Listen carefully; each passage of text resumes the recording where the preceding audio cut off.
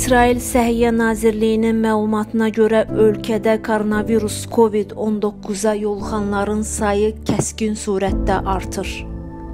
Bu gün martın 24-də koronavirus COVID-19-a yoluxanların sayı 1656-ya çatıb. İsraildə itkilərin ümumi sayı 3 oldu. Bu gün koronavirus COVID-19-dan ikinci ölüm hadisəsi qeydə alınıb. Allah rəhmət eləsin.